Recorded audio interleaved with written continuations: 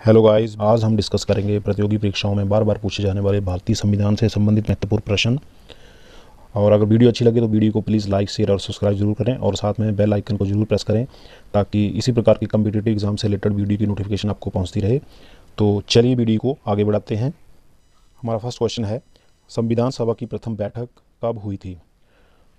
Option आपके सामने है। 9 दिसंबर 1946, 11 दिसंबर 1946, 13 दिसंबर 1946 या फिर 21 दिसंबर 1946 इस क्वेश्चन का सही आंसर होगा ऑप्शन ए 9 दिसंबर 1946 को भारतीय संविधान सभा की प्रथम बैठक हुई थी। नेक्स्ट क्वेश्चन संविधान सभा के अस्थायी अध्यक्ष के रूप में किसे नियुक्त किया गया था? इस क्वेश्चन का सही आंसर होगा option B doctor Sachchidanand Sinha. Doctor Sachchidanand Sinha को संविधान सभा के अस्थायी अध्यक्ष के रूप में नियुक्त किया गया था। नेक्स्ट क्वेश्चन प्रारूप समिति के अध्यक्ष कौन थे? इस क्वेश्चन का सही आंसर होगा ऑप्शन डी भीमराव अंबेडकर। भीमराव अंबेडकर जो थे, भारतीय संविधान की प्रारूप समिति ड्राफ्टिंग कमेटी के अध्यक्ष थे।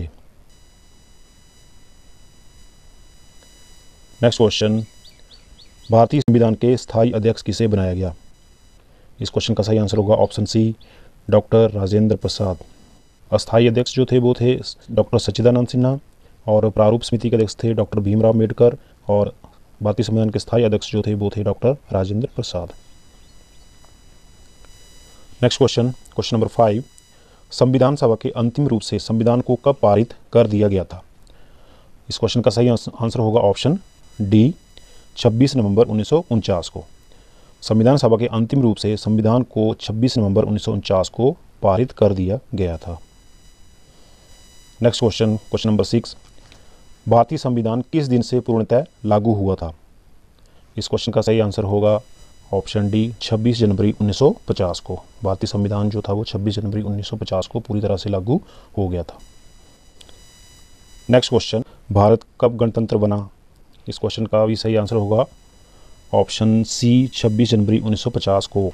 ये दोनों क्वेश्चन एक ही हैं। क्वेश्चन थोड़ा घुमा फिरा कर पूछा गया है। पिछले क्वेश्चन में पूछा था कि भारतीय संविधान पूरी तरह से कब लागू हुआ था और इस क्वेश्चन में पूछा गया है कि भारत कब गणतंत्र बना। नेक्स्ट क्वेश्चन भारतीय संविधान के किस भाग को उसकी आत्मा की संज्ञा दी गई है? ये भी वेरी इंपॉर्टेंट क्वेश्चन कई बार पूछा जाता है एग्ज़ाम में। इस क्वेश्चन का सही आंसर होगा ऑप्शन सी प्रस्तावना। भारतीय संविधान की जो प्रस्तावना है, उसको भारतीय संविधान की आत्मा के रूप में भी जाना जाता है। Next question question number nine संविधान सभा ने राष्ट्रगान को कब स्वीकार किया? ये क्वेश्चन भी काफ़ी इंपॉर्टेंट है। संविधान सभा ने राष्ट्रगान को कब स्वीकार किया? इस क्वेश्चन का सही आंसर होगा ऑप्शन ए 24 जनवरी 1950 को। संविधान सभा ने राष्ट्रगान को 24 जनवरी 1950 को स्वीकार किया था। नेक्स्ट क्वेश्चन भारतीय नागरिकों को प्राप्त मूल अधिकारों की संख्या कितनी है? The number of fundamental rights कितने मौलिक अधिकार दिए गए हैं नागरिक को? इस क्वेश्चन का सही आंसर होगा ऑप्शन बी छ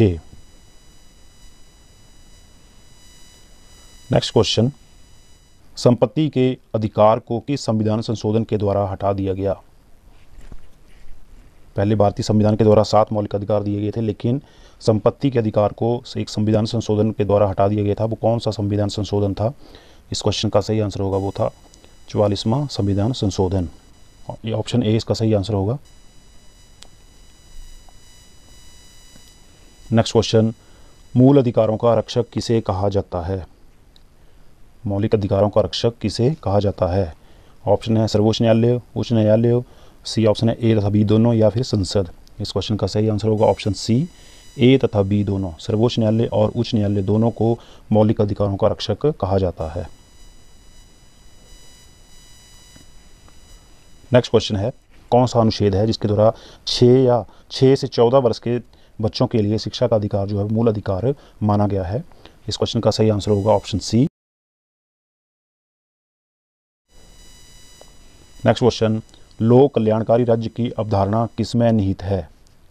लोक कल्याणकारी राज्य की अवधारणा किसमें निहित है? इस क्वेश्चन का सही आंसर होगा राज्य के नीति निर्देशक तत्व। नेक्स्ट क्वेश्चन संविधान का अनुच्छेद 40 राज्य को निर्देश देता है कि वह, इनमें से कौन सा ऑप्शन सही होगा? संविधान का अनुच्छेद चालीस राज्य को निर्देश देता है। इस क्वेश्चन का सही आंसर होगा ऑप्शन सी ग्राम पंचायतों का संगठन। ग्राम पंचायतों के संगठन के बारे में संविधान का जो अनुच्छेद चालीस है, ये राज्य को निर्देश देता है।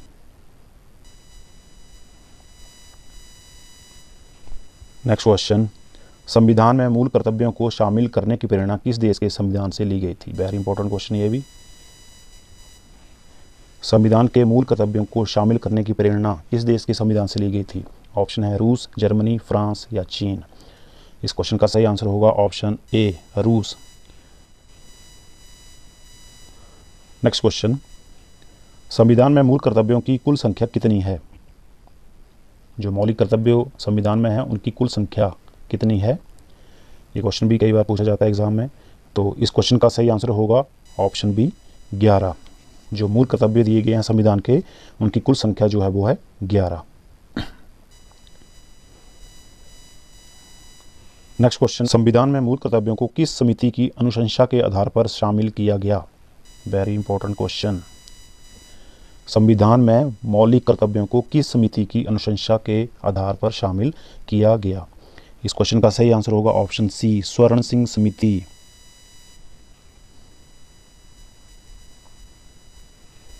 नेक्स्ट क्वेश्चन भारतीय संघ की शक्ति किसमें निहित है?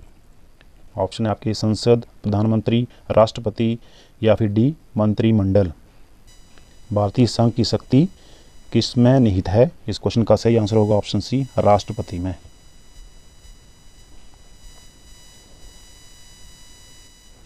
नेक्स्ट क्वेश्चन राष्ट्रपति के निर्वाचक मंडल में शामिल हैं। इनमें से कौन सा ऑप्शन सही होगा? राष्ट्रपति के निर्वाचक मंडल में शामिल हैं। इस क्वेश्चन का सही आंसर होगा ऑप्शन सी संसद के दोनों सदनों के निर्वाचित सदस्य एवं राज्यों की विधानसभाओं के निर्वाचित सदस्य। ये जो है, राष्ट्रपति के निर्वाचक मंडल में शामिल हैं। नेक्स्ट क्वेश्चन राष्ट्रपति के कार्यकाल की अवधि होती है। राष्ट्रपति के कार्यकाल की अवधि कितनी होती है? तीन वर्ष, पाँच वर्ष छः वर्ष या कोई सीमा नहीं? इस क्वेश्चन का सही आंसर होगा ऑप्शन बी पाँच वर्ष। राष्ट्रपति के कार्यकाल की अवधि पाँच वर्ष तक होती है। नेक्स्ट क्वेश्चन राष्ट्रपति पद के चुनाव के लिए कौन सी विधि अपनाई जाती है? Election method of president of India जी। इस क्वेश्चन का सही आंसर होगा। ऑप्शन डी ये सभी अनुपातिक प्रतिनिधित्व एकल संक्रमणियों, अप्रत्यक्ष मतदान। ये तीनों विधियाँ जो हैं, वो राष्ट्रपति पद के चुनाव के लिए अपनाई जाती हैं। नेक्स्ट क्वेश्चन निर्विरोध चुने जाने वाले राष्ट्रपति कौन थे? ऑप्शन है बीबी गिरी नीलम संजीव रेड्डी, राजेंद्र प्रसाद या फिर ए पी जे अब्दुल कलाम। इस क्वेश्चन का सही आंसर होगा ऑप्शन बी नीलम संजीव रेड्डी ये जो राष्ट्रपति थे, ये निर्विरोध चुने गए थे। नेक्स्ट क्वेश्चन राष्ट्रपति पर महाअभियोग का आरोप संसद के किस सदन द्वारा लगाया जा सकता है? ये क्वेश्चन भी काफ़ी इंपॉर्टेंट है। इस क्वेश्चन का सही आंसर होगा, संसद के किसी भी सदन द्वारा। संसद के किसी भी सदन सदन द्वारा राष्ट्रपति पर महाअभियोग का आरोप लगाया जा सकता है। नेक्स्ट क्वेश्चन भारतीय सेनाओं का सर्वोच्च सेनापति कौन होता है? इस क्वेश्चन का सही आंसर होगा ऑप्शन ए राष्ट्रपति। भारतीय सेनाओं का सर्वोच्च सेनापति जो होता है वो तो है राष्ट्रपति। नेक्स्ट क्वेश्चन भारतीय संविधान के अनुसार संघ की कार्यपालिका शक्ति किसमें निहित है? इस क्वेश्चन का सही आंसर होगा ए राष्ट्रपति। भारतीय संविधान के अनुसार संघ की कार्यपालिका शक्ति जो है वो राष्ट्रपति में निहित होती है। नेक्स्ट क्वेश्चन उपराष्ट्रपति के निर्वाचक मंडल में शामिल है। उपराष्ट्रपति के निर्वाचक मंडल में क्या शामिल है? इस क्वेश्चन का सही आंसर होगा ऑप्शन सी राज्यसभा एवं लोकसभा के सदस्य। राज्यसभा और लोकसभा के सदस्य जो हैं वो उपराष्ट्रपति के निर्वाचक मंडल में शामिल हैं। नेक्स्ट क्वेश्चन राष्ट्रपति राज्यसभा के कितने सदस्यों को मनोनीत करता है? ये क्वेश्चन भी काफ़ी ज़्यादा इंपॉर्टेंट है। राज, राष्ट्रपति राज्यसभा के कितने सदस्यों को मनोनीत करता है? इस क्वेश्चन का सही आंसर होगा ऑप्शन ए बारह सदस्य। राज्यसभा में 245 सदस्य हैं, जिसमें से 233 निर्वाचित किए जाते हैं और 12 जो सदस्य हैं वो राष्ट्रपति द्वारा मनोनीत किए जाते हैं। नेक्स्ट क्वेश्चन भारतीय संसद के ऊपरी सदन को क्या कहा जाता है? ऑप्शन है लोकसभा, राज्यसभा, विधानसभा या मंत्रिमंडल। इस क्वेश्चन का सही आंसर होगा राज्यसभा। संसद के राज्यसभा जो सदन है, उसको ऊपरी सदन कहा जाता है और निचला सदन जो होता है, वो होता है लोकसभा।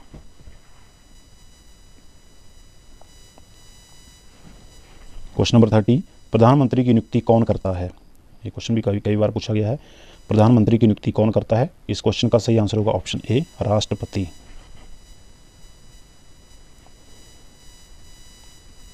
नेक्स्ट क्वेश्चन यदि प्रधानमंत्री या कोई अन्य मंत्री सदन का सदस्य नहीं है तो उसे पद पर बने रहने के लिए कितने दिनों के अंदर संसद का सदस्य बनना आवश्यक है?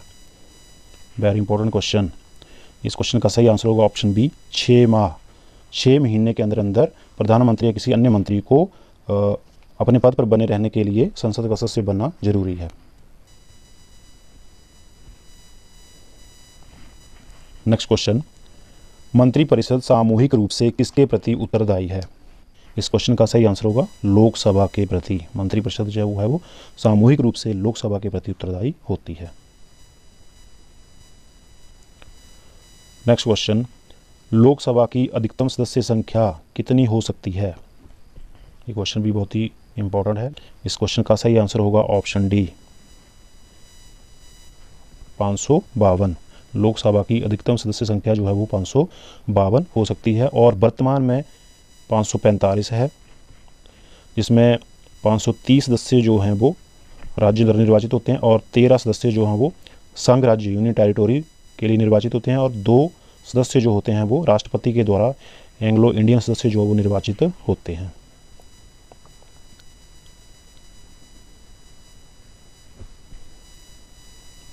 नेक्स्ट क्वेश्चन राज्यसभा की अधिकतम सदस्य संख्या।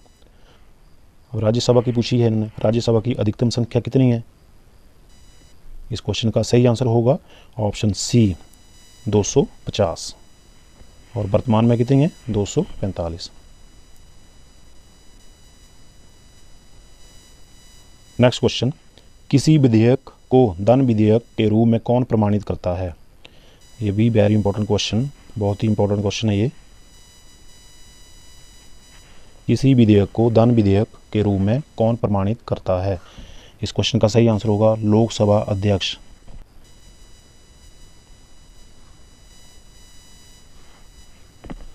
नेक्स्ट क्वेश्चन केंद्र सरकार का प्रथम विधि अधिकारी कौन होता है? केंद्र सरकार का प्रथम विधि अधिकारी। इस क्वेश्चन का सही आंसर होगा ऑप्शन सी महान्यायवादी। महान्यायवादी जो है वो केंद्र सरकार का प्रथम विधि अधिकारी होता है। नेक्स्ट क्वेश्चन संघ राज्य क्षेत्रों का प्रशासन कौन चलाता है? इस क्वेश्चन का सही आंसर होगा ऑप्शन बी राष्ट्रपति द्वारा नियुक्त प्रशासक। राष्ट्रपति द्वारा नियुक्त प्रशासक जो है वो संघ राज्य क्षेत्रों का प्रशासन चलाता है। नेक्स्ट क्वेश्चन भारत के प्रथम राष्ट्रपति कौन थे? इस क्वेश्चन का सही आंसर होगा option B doctor Rajendra Prasad.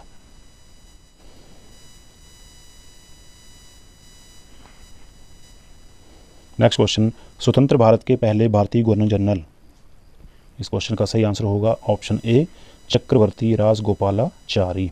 स्वतंत्र भारत के पहले भारतीय गवर्नर जनरल जो थे वो थे चक्रवर्ती राजगोपालाचारी.